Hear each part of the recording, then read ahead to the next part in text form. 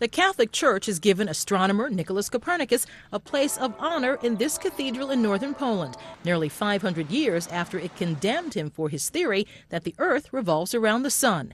That idea moved humanity away from the center of the universe and helped usher in the modern age of science.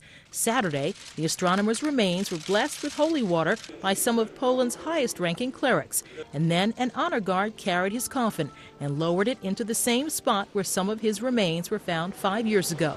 When he died in 1543, Copernicus was buried beneath the floor in an unmarked grave, the exact location unknown.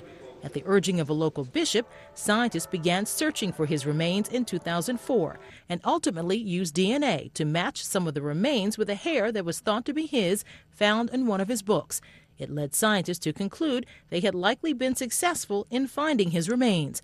The ceremony comes 18 years after the Vatican rehabilitated another astronomer, Galileo, who was persecuted during the Inquisition for carrying Copernicus's ideas forward. Carlotta Bradley, The Associated Press.